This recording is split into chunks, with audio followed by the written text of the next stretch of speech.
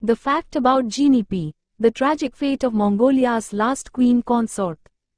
Genepil, the queen consort of Mongolia, resided within the borders of Mongolia.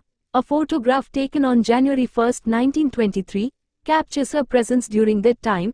As the last queen consort, she was married to Bogd Khan, the ruler of the Bogd Khaganate, until his passing on April 17, 1924.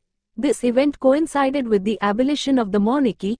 Tragically, Genepil became a victim of the Stalinist purges and was killed in May 1938. After the death of Queen Dondogdulam in 1923, Bogd Khan sought a new partner and selected Genepil from a group of young women aged 18 to 20, chosen by his advisors. Despite Genepil existing marriage, it held no significance beyond a mere formality.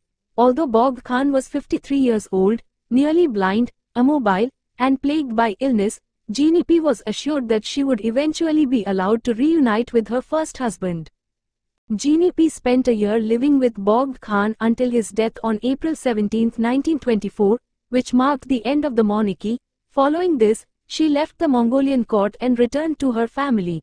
It remains unclear whether she reconciled with her first husband or entered into a new marriage.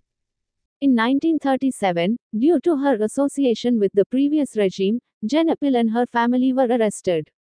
Tragically, she met her demise in May 1938, when she was executed as part of the systematic destruction of Mongolian culture during the Stalinist era.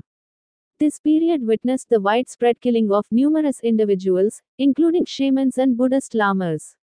Thank you for watching.